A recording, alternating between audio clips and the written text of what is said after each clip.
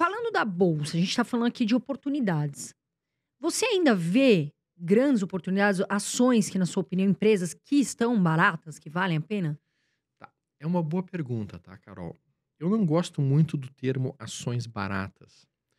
Porque ações baratas levam as pessoas que estão nos ouvindo em casa a acreditar que eu tenho que comprar uma ação em centavos, ou algo que perdeu muito valor, ou algo que caiu muito. Normalmente aquilo que está em centavos vale centavos. Normalmente aquilo que perdeu muito valor é porque tem muitos gestores ou muitas instituições que estão literalmente descarregando aquela ação, estão se desfazendo dela com violência. Então, via de regra, eu não gosto da palavra barata porque a pessoa tem uma sensação de que ela tem que comprar algo que caiu.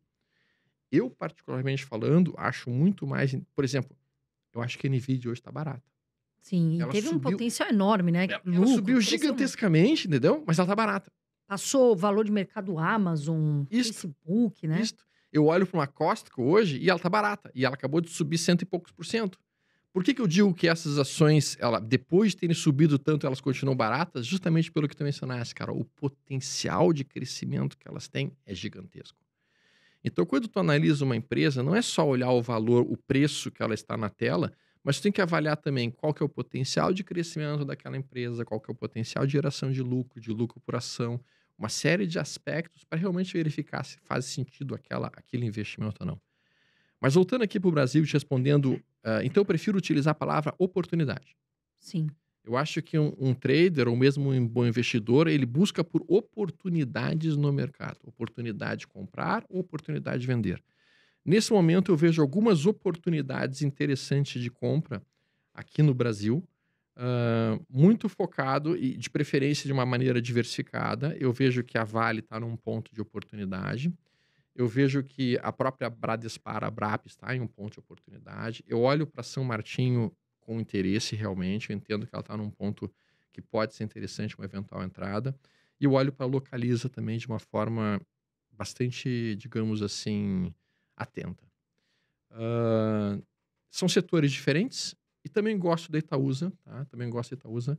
São setores diferentes, diversificam uma carteira e consegue com isso trabalhar de uma maneira relativamente uh, tranquila no mercado brasileiro.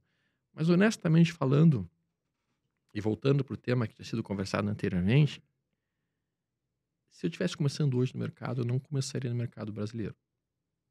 Começaria lá nos Estados Unidos. Exato. Diretamente nos Direto. Estados Unidos. Direto.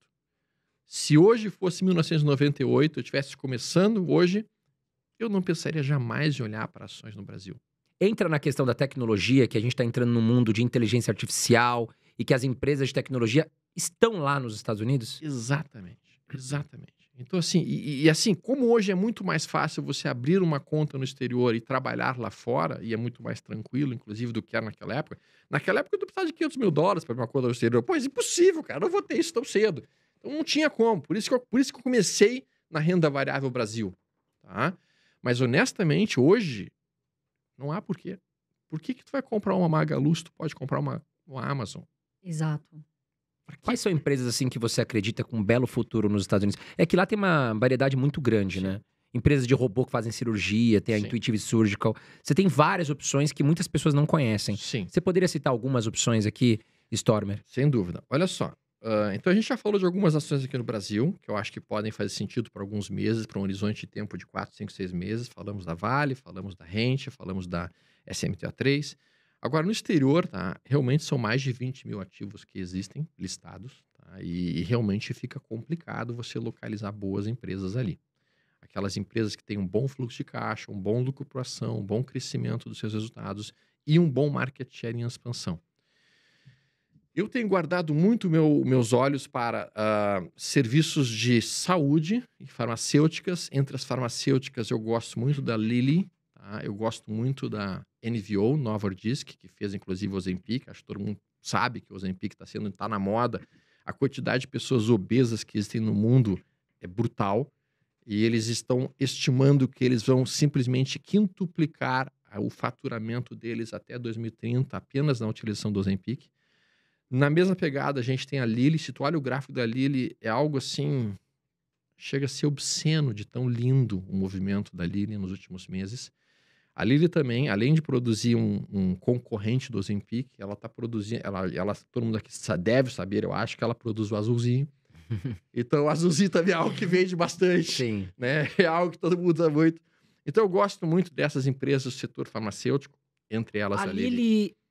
Tem alguma coisa a ver com a Pfizer, não? Não, Nada a ver. a Lilly não tem nada a ver com a Tá. Pfizer. Eu abomino a Pfizer. Ah, tá. abomino a Pfizer por vários motivos. Né? Um deles é pela, pelas questões éticas da empresa. Uhum. tá? Então, realmente, eu. eu é, algum tempo atrás me criticaram porque eu operava Forjas Taurus ou porque eu operava Cruz 3 quando existia Cruz 3, a antiga Philip Morris, né?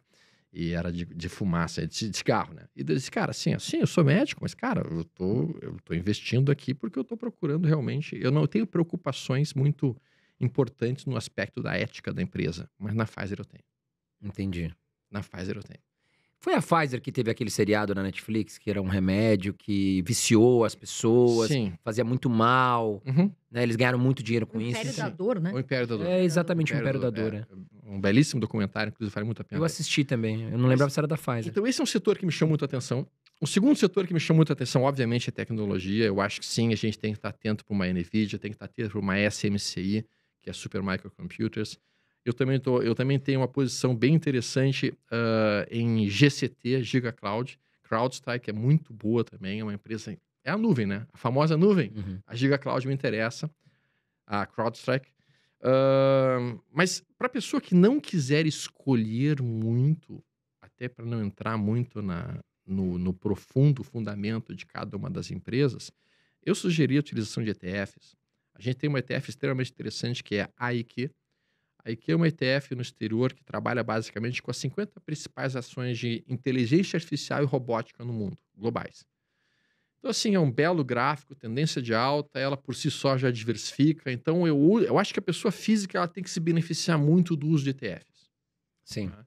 Já que o pessoal, já que a pessoa não vai ser um profissional que vai dedicar 24 por 7 o seu tempo estudando os fundamentos específicos de cada setor ou de cada empresa, é muito mais interessante a pessoa criar uma tese de investimento. Cara, eu acredito na tese de robôs, inteligência artificial, então vou procurar ETFs focadas nisso. Cara, eu acredito, por exemplo, na tese de urânio, eu vou procurar um ETF focado em urânio. Cara, eu acredito, por exemplo, na tese de, de lítio em cima de baterias, eu vou procurar um ETF focado nesse setor. Eu acho que é muito mais tranquilo a pessoa física fazer isso, né? E as, as empresas mais renomadas? Microsoft, Amazon, Google, Meta, essa, Apple, né? Essas empresas. Você, ah, muita gente fala, não, isso aí virou uma bolha. É, você acredita que tem potencial para continuar crescendo mais do que elas já cresceram? Tá, eu acho também uma, uma ótima troca de ideias nesse sentido. Microsoft, para mim, ela é obviamente obrigatória na carteira de qualquer pessoa que queira viver neste mundo pelos próximos 50 anos. Microsoft, sem dúvida alguma. Google também vai na mesma pegada. Essas duas empresas estão brigando violentamente na questão da inteligência artificial, é uma competição. Eu preciso que as pessoas em casa percebam o seguinte: nós estamos em plena, em plena, digamos assim, concorrência armamentista. Nós temos hoje empresas no mundo brigando pelo controle de inteligência artificial.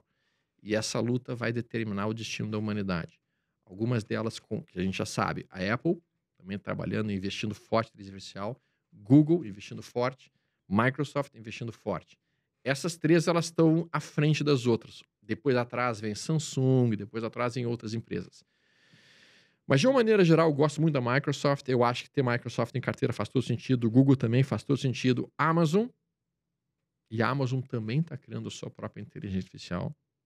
É extremamente interessante o movimento que a Amazon está fazendo. Até algum tempo atrás, as pessoas de marketing, elas queriam o quê? As pessoas de marketing, elas queriam entender o que, que as pessoas querem comprar para poder oferecer para elas. O marketing atual mudou. O marketing atual, ele está querendo fazer com que as pessoas queiram comprar as coisas, induzir as pessoas a comprar as coisas. E mais, o marketing atual da Amazon é mais brilhante ainda. Eles vão comprar para você uma coisa que você nem sabia que precisava e vão entregar na sua casa e dizer, ó, tá aqui, você precisava disso, você não sabia. Nossa, que maluco. É algo brutal. Eu estava conversando com o pessoal que está muito relacionado com essa parte em fintech, só para a gente ter uma rápida ideia aqui. A Amazon hoje está com um projeto que é o seguinte: ela analisa exatamente qual é o seu percurso ao longo do dia. Daqui a pouco ele identificou que todos os dias sai do teu trabalho às 5 da tarde, passa numa farmácia, compra, vamos lá, as fraldas do teu neném e vai para casa. Num determinado dia, tu tá, saiu atrasado, saiu às 18 horas da tarde, saiu bem após o teu horário normal, foi direto para casa. A Amazon vai identificar que tu não comprou a fralda, ela vai considerar que tu esqueceu ela, ela vai comprar para você e ela vai entregar na sua casa. Meu Deus. Quando você chegar em casa, vai estar lá a fralda. E aí tu pode optar, quero devolver ou não. E tu não vai devolver, porque fralda vai usar daqui a pouco. Quer dizer, facilita. A pessoa fala, pô, eu tava precisando mesmo Sim. disso. Como é que, né?